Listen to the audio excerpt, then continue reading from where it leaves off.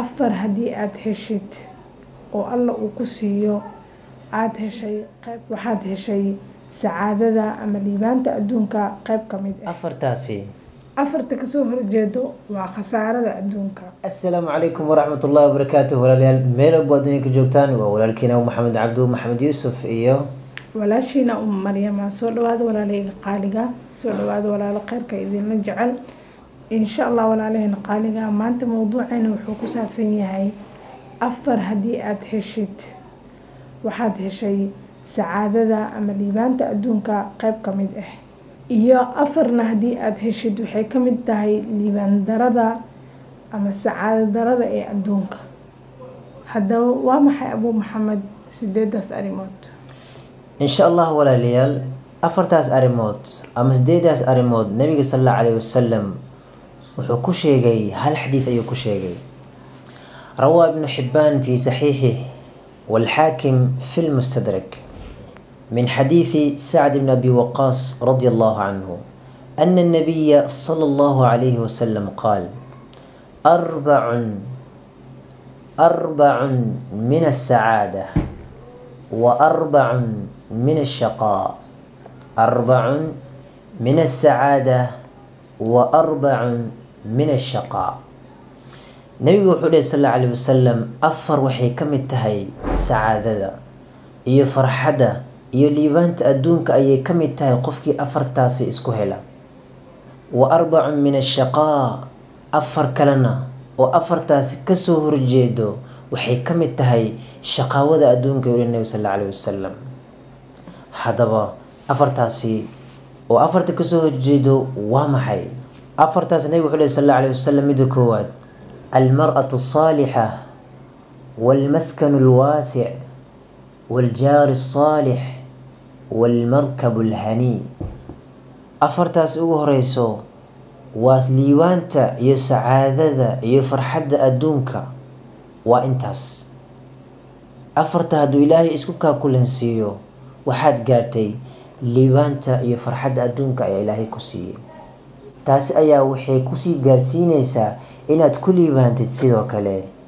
Aakhiro adduun iyo aakhiro ayay kuu horseedeysaa haddaba waa maxay afarta kale ee ka soo horjeeda afartii hore uma maryama rasuul sal allahu calay wasalam wuxuu dhahay afarta kaloo shaqaawada eena waxaa waaye almar-atu suu waaljaaru suu waalmarkabu suu waalmaskanu suu sideedaasi walaalayaal afarta ugu horeysa hadduu ilaahay ku siiyo waxaad gaartay liibaanta adduunka. Almar-atu saalixa uu nabi sal alay wasalam haweeney wanaagsan haweeney saalixad ah inuu ilaahay ku siiyo oo ku waafajiyo. Haweeney saalixad ah ku horseedeyso adduunkaaga iyo aakhiradaada. Haweeney saalixad ah daacada rabbi kugu kaalmeyneyso. Haweeney saalixad ah horumarkaaga adduunka iyo aakhiraba kuu kaalmeyneyso haweeney saalixad ee adiga iyo caruurtaadaba idinka ilaalinaysa mar walbo. Xumaanta idin farayso wanaagga haweeney saalixad ah haddaad heshid waxaad heshay ood gaartay sacaadada adduunka ayaad gaartay.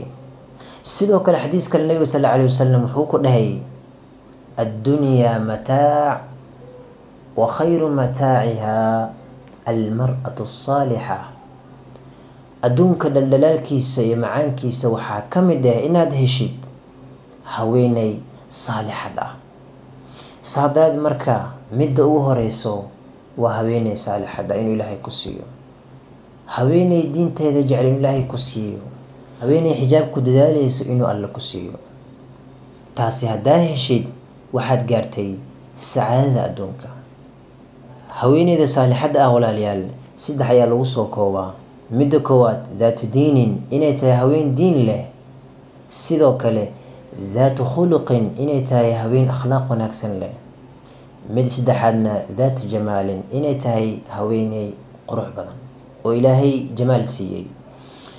Taasina xadiis ayuu nabigu ku sheegay sal alla caleyhi wasalam haddaba waa maxay saddexdaasi uu nabigu ku sheegay xadiiskaasi qaala rasuulu llaahi sala allahu calayh wasalam khayru nnisaa alatii tasuruhu idaa nadar wa tudiicuhu idaa amar walaa tukhaalifuhu fii nafsiha walaa maaliha bimaa yakrah nabiga sal alla alayh wasalam wuxuu dhahay khayru nisaa u fiirsa haweeney waxaa ugu khayr badan nabiga sal alla alayh wasalam waa midda markaad aragto ku farax gelinayso wejigeeda quruxdeeda muuqaalkeeda ku soo jeedanayso ku farax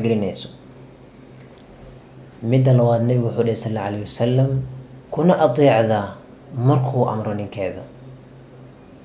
Tii hore waa xagga quruxda middan dambena waa midda ku tusinayso inay akhlaaq iyo diini ay ka muuqato. Saa daraad waxaad ku fahmaysaa ninkeeda markuu wax amro way ateecdaa oo kama soo horjeesato. Midii saddexaadna oo diinteeda iyo akhlaaqdeeda ku tusinaysa waxaa ka mid ah nabigu wuxuu leh sal alla alayh wasalam kuma khilaafto ayada nafteeda iyo ninkeeda maalkiisaba wax asiga uu nacayo oo yacni uma dabamarto oo wuxuusan ogeynin ma sameyso maalkiisa kuma tasarufto amar la'aantiisa. Saa daraadeed marka inay diin iyo akhlaaq leedahay iyo jamaal ayaa xadiiskayna fahansiinaa. Saa daraadeed marka sacaadada adduunka waxaa ka mid ah inuu ilaahay ku waafajiyo haweeney saalixad ah haweeney toosan diinta ku toosan oo ku garab taagan mar walba. Taasi ayaa ah haweeneyda saalixadda ah oo wanaagsan. Sidoo kale haweeneyda saalixadda ah waxaad ku garanaysaa waxau nabigu ku tilmaamay sal alay wasalam xadiis kale tasawajuu alwaduud alwaluud oo yihi nabi sal alay wasalam waxaad guursataan haweeneyda ninkeeda jecel ninkeeda soo jiidata si wanaagsan ula dhaqanta taas guursada yuri nabi sal alay wasalam sidoo kale haweeneyda dhalmada badan ayuu nabi sal alay wasalam ayadana waxay ka mid tahay haweeneyda wanaagsan ayay ka mid tahay. Saa daraadeed marka haweeney wanaagsan hadduu ilaahay ku siiyo waxaad gaartay sacaadada adduunka ayaad gaartay.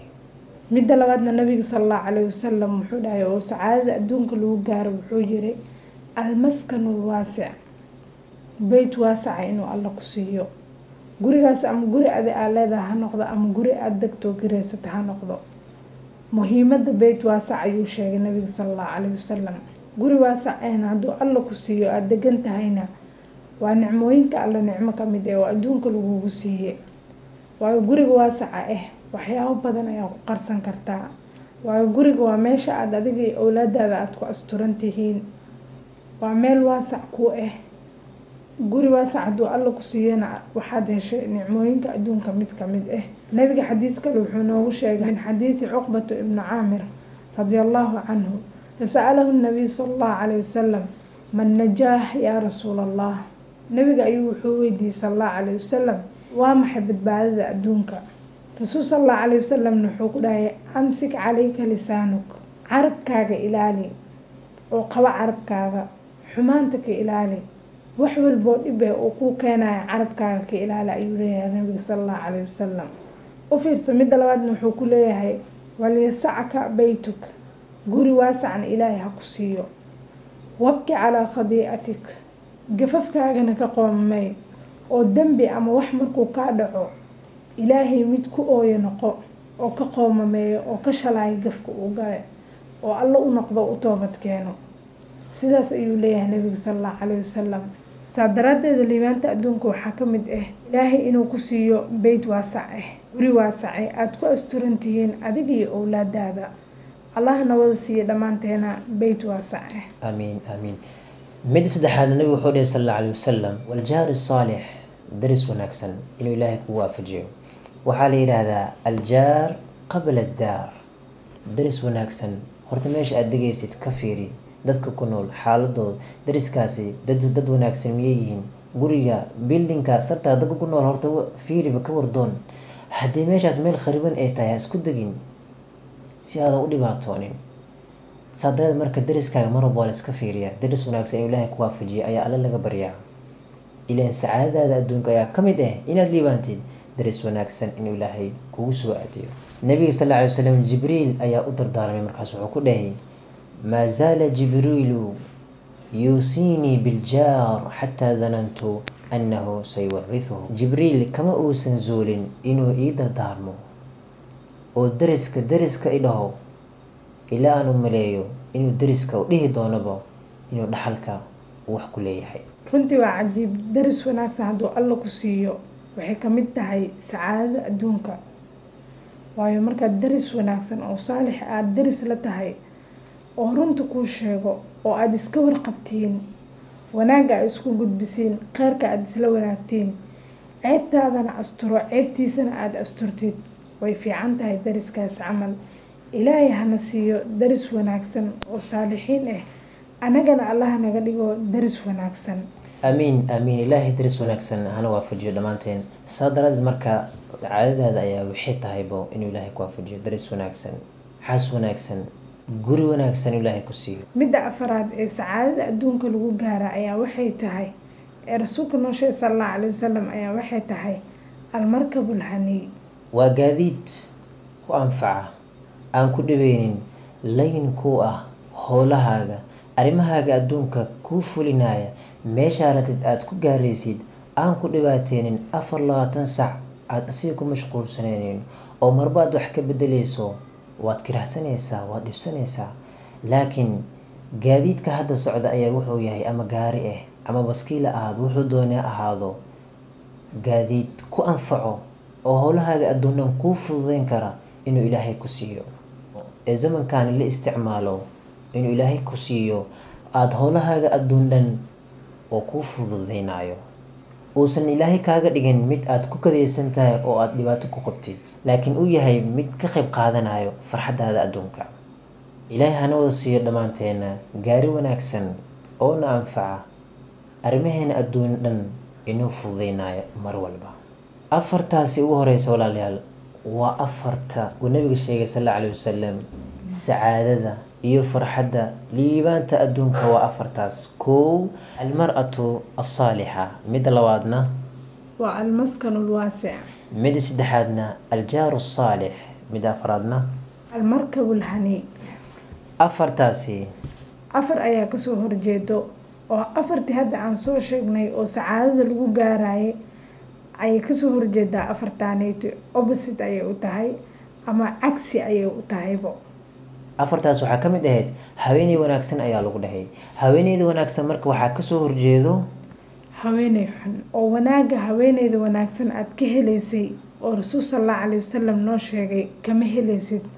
Cagsigeeda ayaa kala kulmaysaa saa daraadeed markaa haweeney xun inuu ilaahay kugu aadinin mar walbo ilaahay ka bari midda labaadna waxay ahayd walmaskanu lwaasic guri waasic in ilaahay ku siiyo. Guri waasicin waxaa ka soo horjeedo waxaa ka soo horjeedo guri cariiri ah. Guri cariiri ah aada ku kadeedan tahay aada ku rafaadsan tahay. Ciriiri uu kugu yahay gurigaas oo kale inuu ilaahay kugu soo aadanin ama guri aada leedaha ha ahaado ama mid aad ijaar aada ku gashay ha ahaado. Ilaahay ka bari mar walba inuu kugu soo aadanin guri cariiri ah. Midda saddexaad nabiga sal allahu calay wasalam wuxuu dhahay aljaaru saalix daris wanaagsan. Waxaa ka soo horjeedo aljaaru suu daris xun. Daris xun inuu kugu soo aado ilaahay ka magan gal waayo daris xun lalama darsi karo mana lala dhaqmi karo. Allaha naga ilaaliyo daris xun inaan la darisno. Mid u dambeysa nabiga wuxuu sal alayhi wasalam walmarkabu lhanii markab wanaagsan.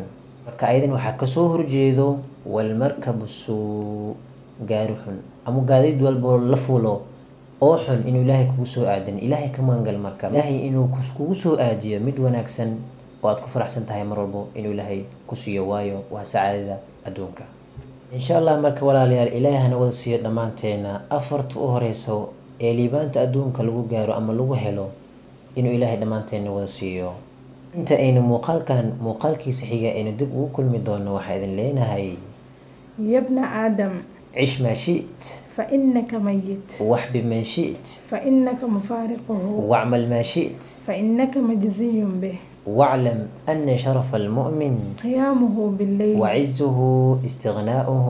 عن الناس. هذا وبالله التوفيق. والسلام عليكم. ورحمة الله. وبركاته.